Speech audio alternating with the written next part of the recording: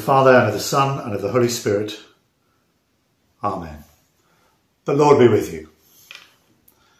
Good morning and a very warm welcome. My name is Charles. I'm the priest from St. Peter's Church in Hammersmith, and it's very good to welcome you uh, to our online worship for uh, the 11th, the 12th Sunday after Trinity. Uh, our first reading today is from the book of Exodus. It's the uh, story of Moses and the burning bush, uh, where uh, Moses has an encounter with God and is called by God into his service. Uh, and of course, uh, Moses' first instinct is to feel afraid and to feel that he is not worthy. Uh, it may well be the case that he wasn't worthy and he wasn't up to the task, but God called him anyway. It's a pattern that is repeated uh, through the Bible and I think is true today. Uh, none of us are, are, worthy of being called by God into his service. Uh, none of us really are up to the task. And yet God calls us and we rely uh, on his strength and grace. So let's begin with a moment of quiet as we come before the Lord, aware of our failures and our inadequacies, uh, and trusting in his love and forgiveness.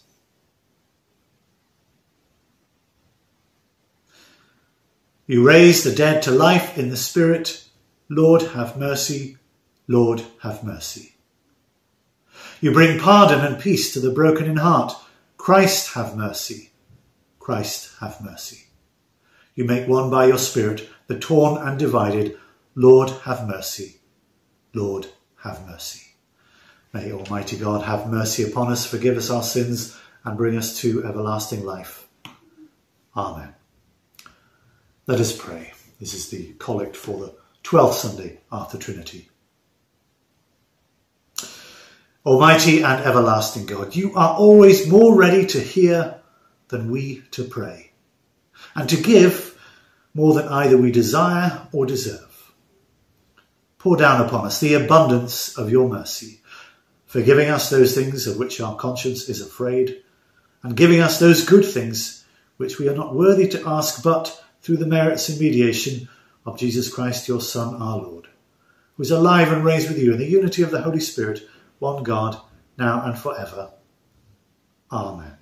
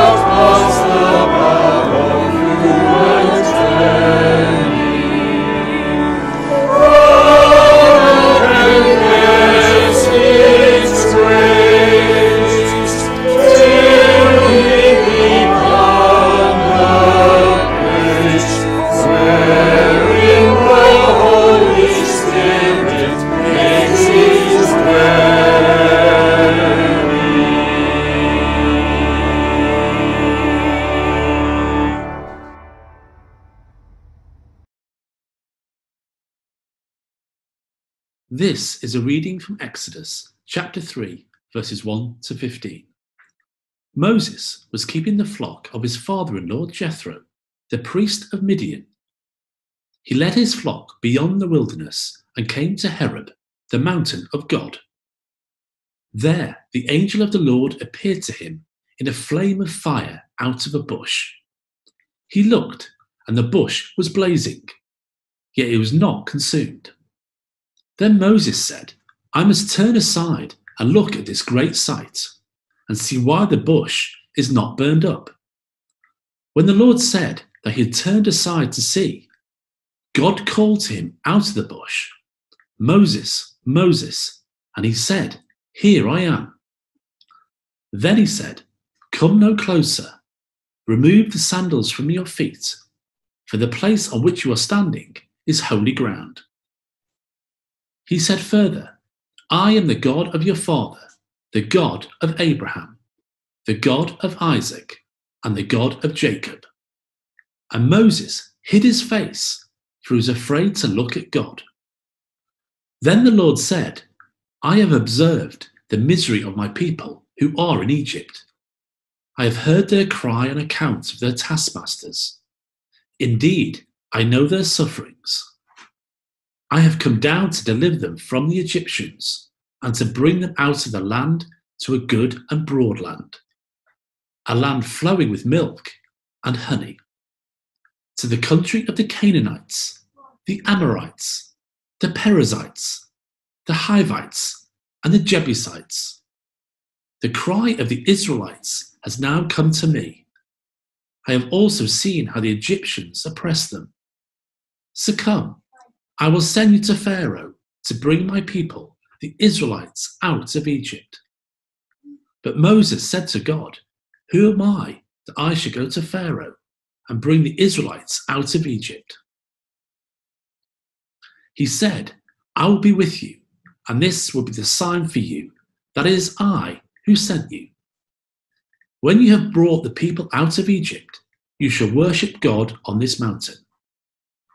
But Moses said to God, If I come to the Israelites and say to them, The God of your ancestors has sent me to you, and they ask me, What is his name? What shall I say to them? God said to Moses, I am who I am. He said further, Thus you shall say to the Israelites, I am has sent me to you. God also said to Moses, Thus you shall say to the Israelites, The Lord, the God of your ancestors, the God of Abraham, the God of Isaac, and the God of Jacob, has sent me to you. This is the word of the Lord. Hear the gospel of our Lord Jesus Christ according to Matthew. From that time on, Jesus began to show his disciples that he must go to Jerusalem and undergo great suffering at the hands of the elders and chief priests and scribes, and be killed, and on the third day be raised. And Peter took him aside and began to rebuke him, saying, God forbid it, Lord, this must never happen to you. But he turned and said to Peter, Get behind me, Satan. You are a stumbling block to me, for you are setting your mind not on divine things, but on human things. Then Jesus told his disciples, If any want to become my followers, let them deny themselves and take up their cross and follow me. For those who want to save their life will lose it, and those who lose their life for my sake will find it. For what will it profit them if they gain the whole world but forfeit their life? Or what will they give in return for their life? For the Son of Man is to come with his angels in the glory of his Father, and then he will repay everyone for what has been done. Truly, I tell you, there are some standing here who will not taste death before they see the Son of Man coming in his kingdom. This is the gospel of the Lord.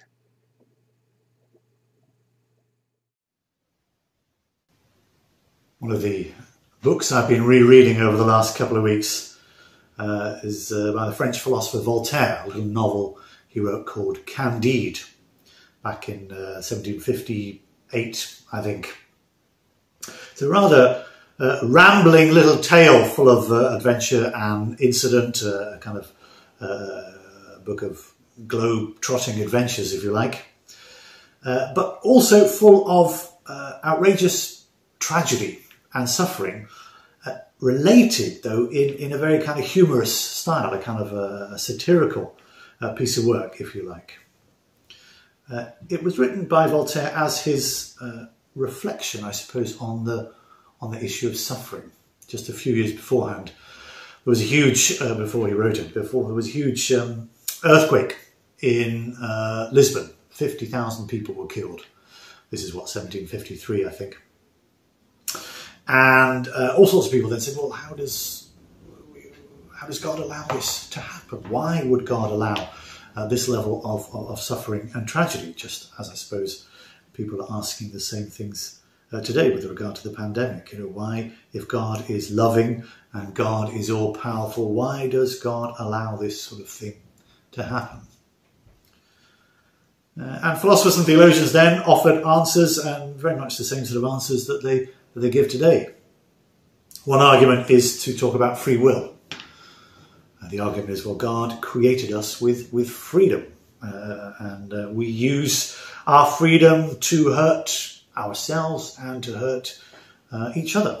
Uh, that's the price we pay for freedom, but it's uh, it's a price worth paying. This is the argument. Freedom is such a good thing that even when we misuse our freedom and cause suffering, nevertheless, it's better to be free than not free.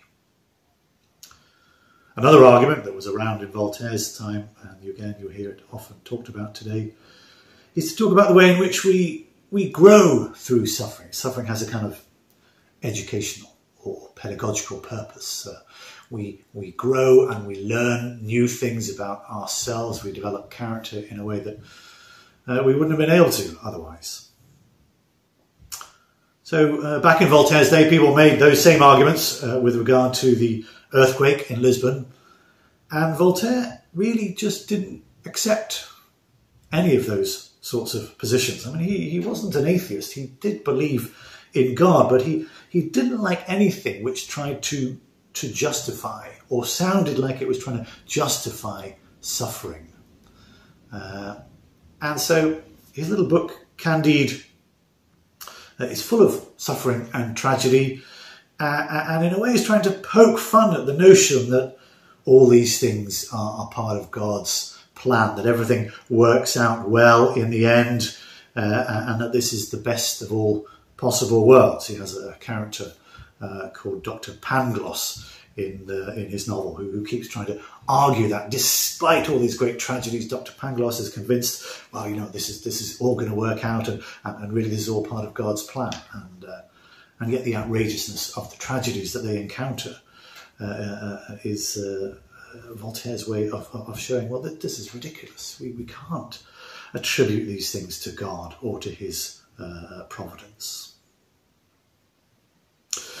Some of you will have seen this uh, this uh, statue of the, the Buddha that I have uh, in the background here. Uh, it's a permanent feature of my mantelpiece. It was a, a, wedding present, actually. It was given to me by the best man at my wedding. The best man and his partner are Buddhists, and they, they gave us this uh, Buddha, uh, which we which we have here in our living room.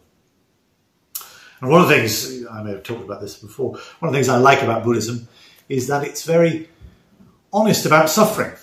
There is suffering. That's the, that's the first noble truth in Buddhism. It's, it's, the very first thing you have to acknowledge uh, as part of the kind of process of enlightenment, as, as Buddhism uh, pictures it. The first noble truth is there is suffering. We have to accept the reality of suffering uh, rather than to try to give it a kind of theoretical explanation. The issue in Buddhism is um, is to try to deal with it as, as, as a practical issue uh, rather than uh, to justify it.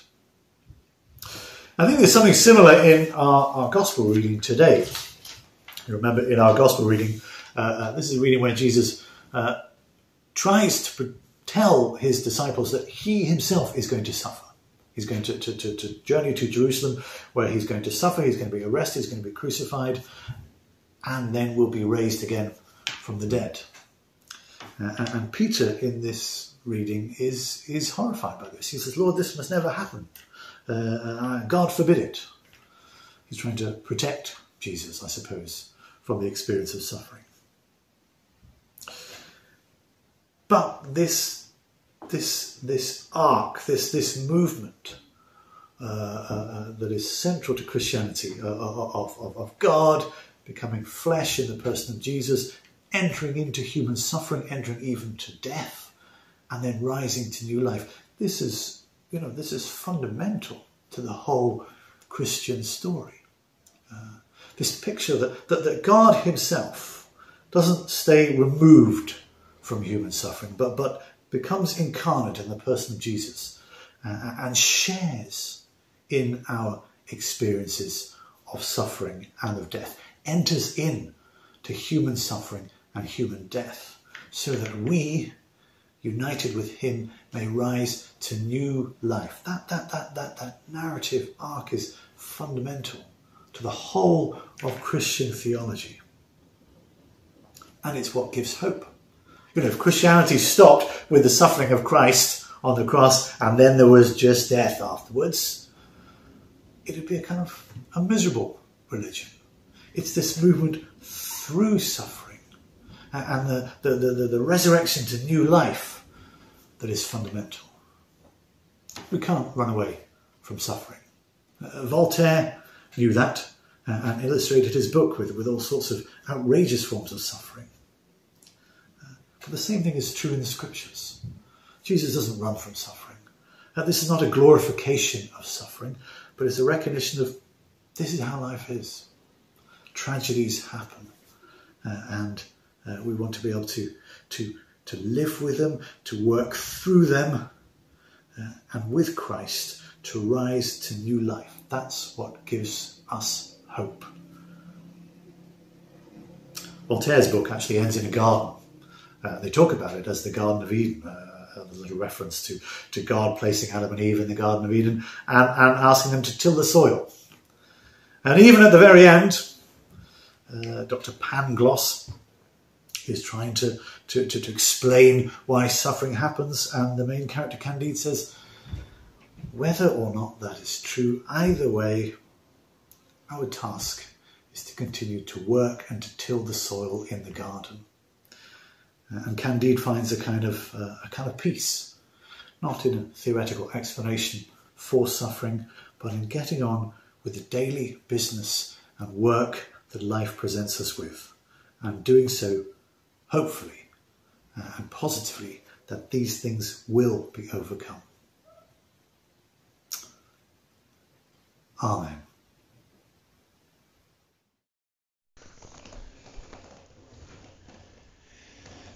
Let us pray. Lord, let us give thanks for our ability to worship together, both physically in person and spiritually united as one in the warmth of your love. Let us pray for all those who are suffering at this time across the world let us pray for the lonely, the isolated, and those without sufficient care or shelter at this time. Lord, in your mercy, let us pray for our church, our Vicar Charles and our Rector Heike. Let us pray for our choir and organist, our verger and wardens, for all who keep St. Peter's open and welcoming, now and forever. Lord, in your mercy, let us pray for our royal family, for our government, and all those who are working on the front line of healthcare education, and retailers. Please guide our teachers and pupils through a new academic year here at St Peter's and at the Beanstalk. Lord, in your mercy,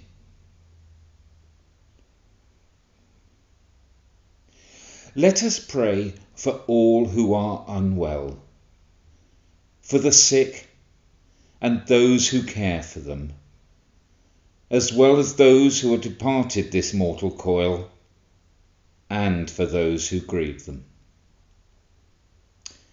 Merciful Father,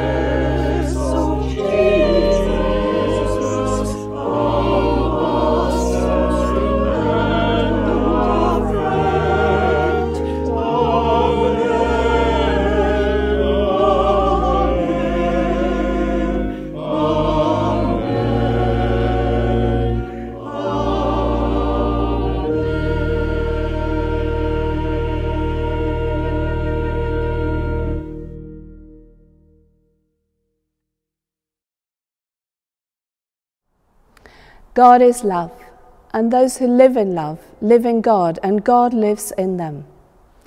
The peace of the Lord be always with you.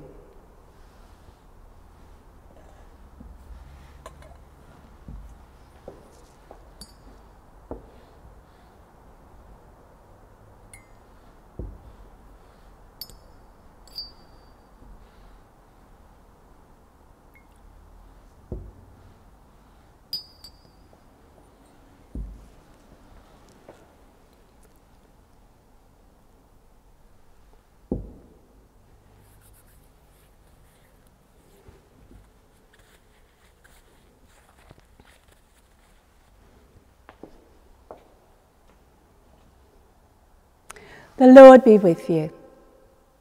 Lift up your hearts. Let us give thanks to the Lord our God. Father, you made the world and love your creation. You gave your Son, Jesus Christ, to be our Saviour. His dying and rising have set us free from sin and death. And so we gladly thank you, with saints and angels praising you and saying, Holy, holy, holy Lord, God of power and might, heaven and earth are full of your glory. Hosanna in the highest. Blessed is he who comes in the name of the Lord. Hosanna in the highest. We praise and bless you, loving Father, through Jesus Christ our Lord. And as we obey his command, send your Holy Spirit, that broken bread and wine outpoured may be for us the body and blood of your dear Son. On the night before he died, he had supper with his friends. And taking bread, he praised you. He broke the bread, gave it to them, and said, Take, eat. This is my body, which is given for you. Do this in remembrance of me. Supper was ended. He took the cup of wine. Again he praised you, gave it to them, and said, Drink this, all of you. This is my blood of the new covenant, which is shed for you and for many for the forgiveness of sins. Do this as often as you drink it in remembrance of me. So, Father, we remember all that Jesus did. In him we plead with confidence his sacrifice made once for all upon the cross. Bringing before you the bread of life and cup of salvation, we proclaim his death and resurrection until he comes in glory. Great is the mystery of faith. Christ has died, Christ is risen, Christ will come again. Lord of all life, help us to work together for that day when your kingdom comes and justice and mercy will be seen in all the earth. Look with favour on your people, gather us in your loving arms, and bring us with the Blessed Virgin Mary, St. Peter, and all the saints to feast at your table in heaven. Through Christ and with Christ and in Christ, in the unity of the Holy Spirit, all honour and glory are yours, O loving Father forever and ever. Amen.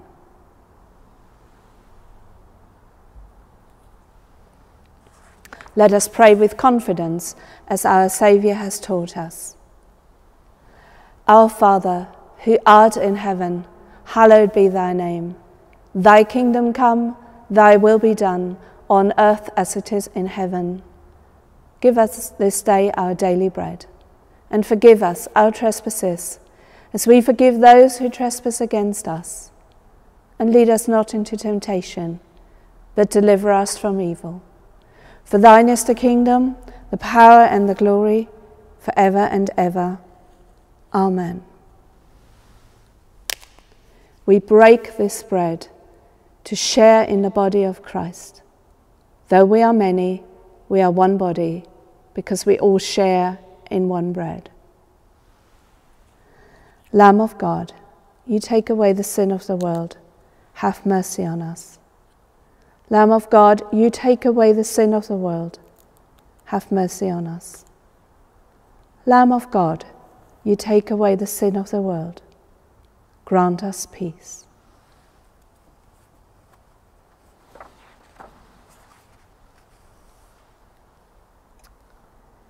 Jesus is the Lamb of God who takes away the sin of the world. Happy are those who are called to his supper. Lord, I am not worthy to receive you, but only say the word, and I shall be healed.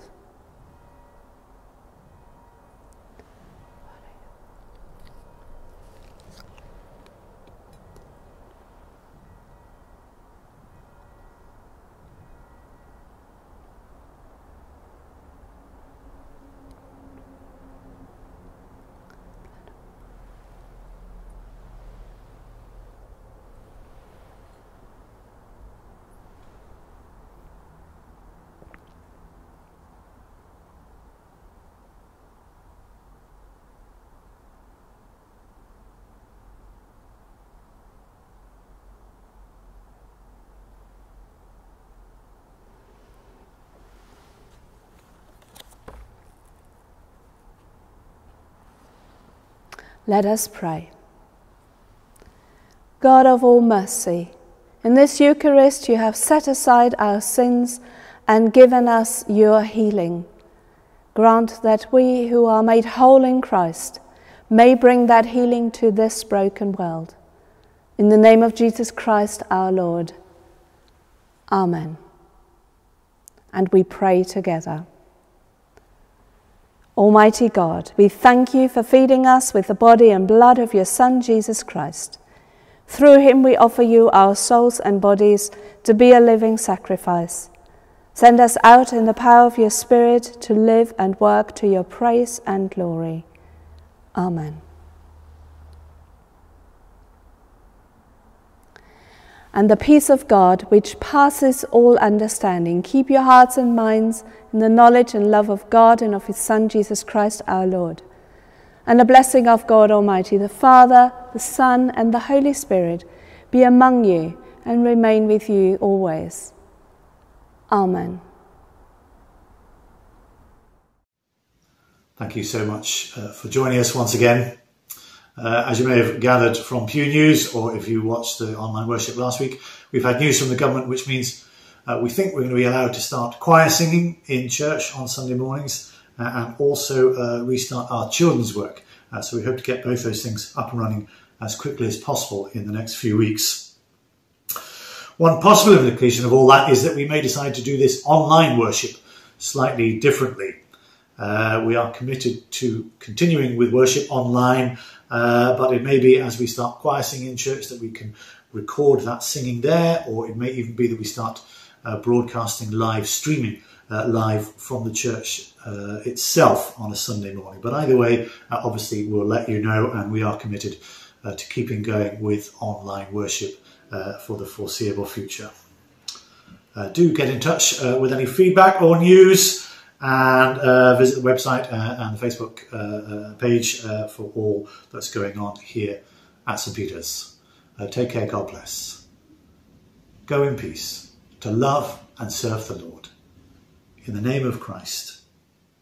Amen.